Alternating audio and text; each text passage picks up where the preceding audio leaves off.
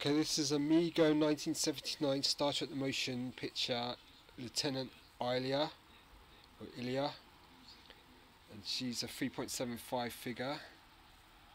Comes in this packaging, really nice. She's a four point five points of articulation figure.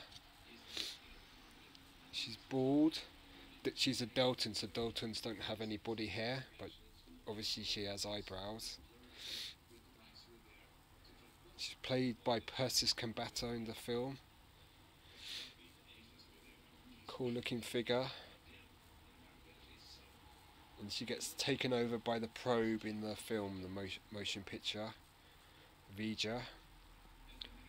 And she was sort of the ex-girlfriend of Decker and they, in the end of the movie, joint get back together.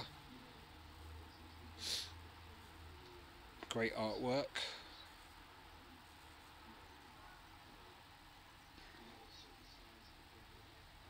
See the camera can focus a bit better. Really bad lighting today I'm afraid. So Lieutenant Ilia, or Ilia. The back of the card shows all the figures that were available. So the six humans were quite easy to find, the six aliens are really difficult and there's big price difference between the humans and aliens. It's a fairly okay card, not brilliant, but you get Arcturian, Megarite, Rigelian, Beta Gaizian, Zaranite, Klingon, Ilia, Scotty, Dr. McCoy, Decker, Mr. Spock, and Captain Kirk.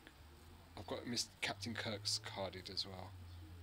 I've got the Klingon, Zaranite, and Arcturian graded loose. How it was back in 1979. And this is a really nice item to have. There's also um, Italian versions of these card carded figures. There's Canadian, Grand Toys, and there's Airfix as well. And the Airfix ones have German writing on them as well, so they're really pretty hard to find. I'd love to get an Airfix Mego Star Trek figure. Okay, so there's the Italian, the US, this is a US card, Canadian Grand Toys, Italian, and um, Airfix. Alright, so cheers, bye. Let's last look at Ilia. Hairless, there's her picture there. Okay, so it's 1979 Mego Ilia. Right, cheers, bye.